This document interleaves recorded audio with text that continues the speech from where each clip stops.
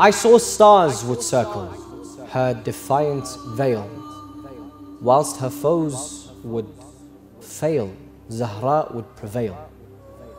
There is a story that's hidden in history's secret, so few tongues would tell it, that its tastes words forget. There is a story that's hidden in history's secrets, so few tongues would tell it that its tastes words forget. It's what happened to the daughter of the best of all men who passed away broken, denied paper and pen. In his shadow stood a shadow, fearless, not hesitant, hidden yet defiant, oppressed against tyrant. Wanting her veil oppressed, these tyrants she addressed. Her words on them hail, Zahra would prevail. There she stood, a woman against men known for their power. Yet on them she tower from iron this flower. Her veil that covered her body draped her from head to toe. Armored against her foe, he shook when she said no. No to the reign that was Ali's, usurped by Tinnery. Whilst air her veils carry, beneath them is Ali. Beneath the veil that breathed, Ali with a sword sheathed. Ali, her veils sail, Zahra would prevail. Glory be to the Lord that gave her tears such weight and might. Her cries for Ahmed's plight had flipped day into night. God knows what lamenting took place in her house of sorrow.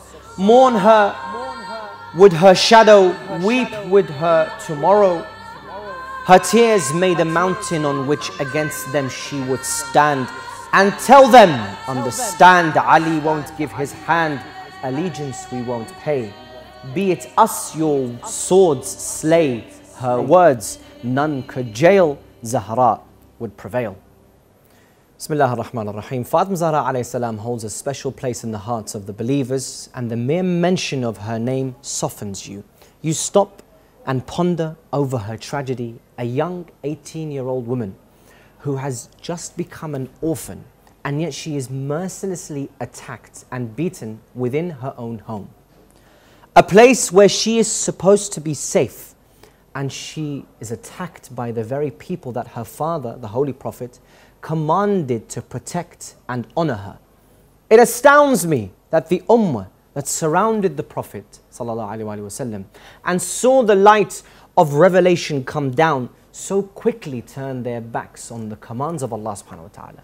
Because truly love and reverence towards Lady Fatima salam, is obligatory, just as Salah, Zakat, and Ramadan are obligatory for us. Allah subhanahu wa ta'ala says in the ayah Al-Mawaddah, Say, O Muhammad, I do not ask of any reward except love for my near ones. And who was more loved to the Prophet than his dear daughter Fatima Zahra But is it enough just to say, I love Fatima Zahra and may my life be sacrificed for her? Is it enough to say this and yet our actions contradict what we were saying on our tongues? Probably one of the most important lessons we can learn from Sayyidah Fatima salam is honoring our own women, our own sisters, because many of us seem to forget the hardships our sisters go through. Not only do they face Islamophobia in the West on a daily basis, but often they feel neglected by their own communities. They're not given the opportunities that the brothers are given to gain knowledge and become teachers of the religion. They don't have access to the scholars and the people that can help them with their difficulties. And when they do speak out about their difficulties, whether it is, for example, the way they are being oppressed, or they have doubts in their faith, they're ignored or even judged and scorned. This is a shame, my brothers and sisters. This is one half of the ummah. How can we say that we love Fatima to Zahra when we are neglecting or even, God forbid, abusing the women or the women who are, try, who, who are trying to follow Fatima Zahra How can we sit in our majalis and cry over how Umar spoke to Lady Fatima when we ourselves are speaking to our women in such a disrespectful tone. How can we cry over Fatima Zahra? Or how can we cry over how Fatima was pushed between the door and the wall and then slapped across the face when we ourselves are beating our own women with our hands? How can we cry for the loneliness of Imam Ali salam when he buried her, when we turn our own women into objects of lust or slaves and refuse to live with them honorably? Women were not put in this earth to be used and abused. Rather, they have rights and it is our duty to treat them honorably. How can we sit and be amazed by the fiery sermon of Fadak that Lady Fatima Zahra gave when we stop our own women from excelling? If we as an ummah want to progress and work towards the reappearance of our master Imam al-Mahdi Ajjallahu ta'ala Faraj sharif we must stop neglecting the sisters and give them the resources and the encouragement they need to follow in the footsteps of Lady Fatima. Because if we don't act to protect our sisters, then history will just repeat itself. And subhanAllah, how history repeats itself. For I cannot think of Fatima Zahra without also thinking of her daughter Sayyidah Zainab. Because how similar are the stories of Zahra and Zainab? Zahra, she stood and spoke against the tyrants of Saqifa. And Zainab, she stood and spoke against the tyrants of Sham. Zahra was slapped on the streets of Medina and Zainab was slapped upon the plains of Karbala. But she asked me, why is Zainab called Ummul Musayib and not Fatima to Zahra? Because when Sayyidina Zahra salam walked through Medina, she had Hassan and Hussein next to her. I ask you then, who was there to help Zainab walk when she was forced to walk through Sham? When Zahra walked through Medina, she had a veil upon her face so that nobody could look upon her.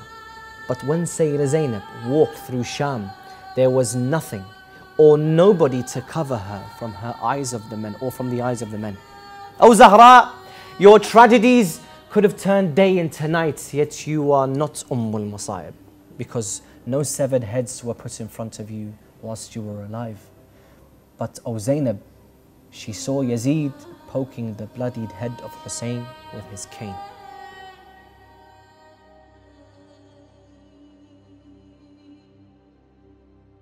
O you who usurped us of rights, know that daily in prayer I'll curse you and your heir till my last breath of air. Your heir burnt the door of my house, the door of my father. My muhsin would wither, his ashes I'd gather. If you return for forgiveness, no, my Lord won't forgive. A mercy he would give, you yearned it not to live. In every prayer I'll send on the first and second prayers that make men frail, Zahra would prevail. My veil, it is defiance. Some call it oppression. My veil, it is defiance. Some call it oppression. Wear it shall brave women as a flag of freedom. Freedom from men that think women like me can be shaken. In the veil I walk in, your throne I have broken. My daughters, till the end of time, their shackles they shall break.